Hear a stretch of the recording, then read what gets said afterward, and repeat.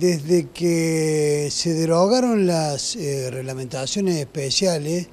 que establecían medidas particulares para el desarrollo de actividades en el interior del campus, se estableció que eh, a partir de ese momento eh,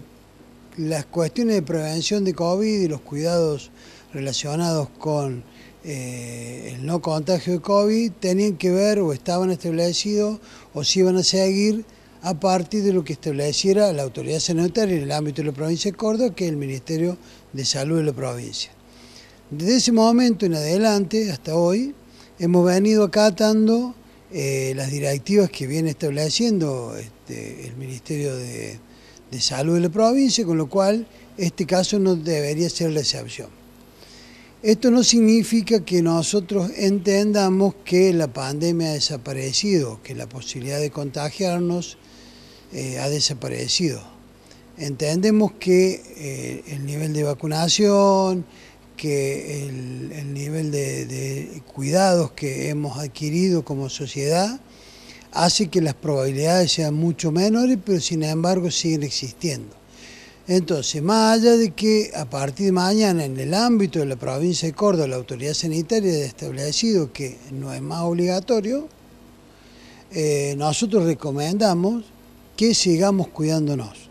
que sigamos con el aseo permanente de, manos, con, el, este, con la utilización de barbijo en el caso de que entendamos que pueda ser útil, eh, porque el barbijo no solamente eh, es un elemento que nos, puede, que nos sirve para evitar o minimizar el contagio de COVID, sino también otras enfermedades respiratorias.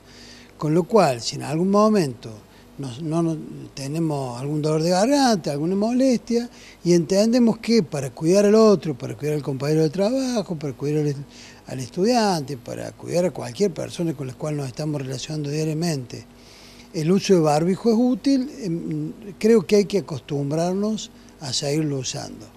Inclusive si en algún grupo de trabajo eh, existe el acuerdo, existe la voluntad de que eh, todos los quieren seguir usando, me parece que está muy bien. Pero bueno, lo que sí es cierto es que no va a ser obligatorio. O sea que no vamos a poder decirle a alguien o obligar a alguien para que lo use. En ese sentido, como hemos venido haciendo desde hace largo tiempo, eh, la autoridad sanitaria es el Ministerio de Salud de la provincia y las directivas que indiquen, nosotros obviamente las vamos a acatar. Haciendo una reflexión después de dos años que hemos transitado con eh, adaptándonos a estos protocolos, eh, ¿cómo se ha comportado la comunidad universitaria en cuanto a estos cuidados? ¿Qué han visto eh, en la reglamentación, en el día a día de la universidad? Excelentemente bien. La verdad que eh, hemos participado algunos actores desde el inicio del proceso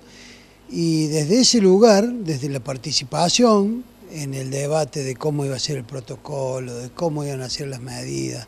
cómo íbamos a facilitar garantizando el cuidado de la salud y la vida de cada uno de los trabajadores, cada uno de los estudiantes, cada una de las personas que eh, transitaban en la universidad. Desde ese lugar de debate ya la participación eh, fue enorme, participaron absolutamente todos los actores, las organizaciones gremiales, la facultad, rectorado, absolutamente todos los actores tuvieron eh, una parte, estuvieron en algún proceso de construcción. Eh, después eh, creo que hemos podido cumplir satisfactoriamente nuestros objetivos institucionales, tanto en el momento de, de la pandemia que fue difícil, que fue creo que el 2020, eh, cuando eh, pudimos flexibilizar un poco el tema de la presencialidad en el 2021, creo que también pudimos retocar toda la reglamentación, reacomodarla, reorganizarla, eh, pudimos debatir en un ámbito muy colaborativo, muy participativo y entiendo que nuevamente, en un nuevo escenario por supuesto, pudimos cumplir con los objetivos institucionales. Y bueno, cuando en el 2022 ya se decidió que eh, la presencialidad era total, pero eh, respetando lo que había dicho el Ministerio de Salud de la provincia, eh, donde era obligatorio el uso de barbijo en espacio cerrado, creo que volvimos a tener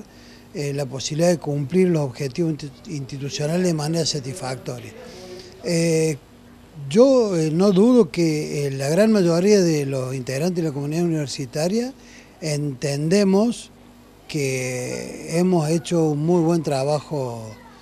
como comunidad y que inclusive hemos colaborado con las ciudades vecinas.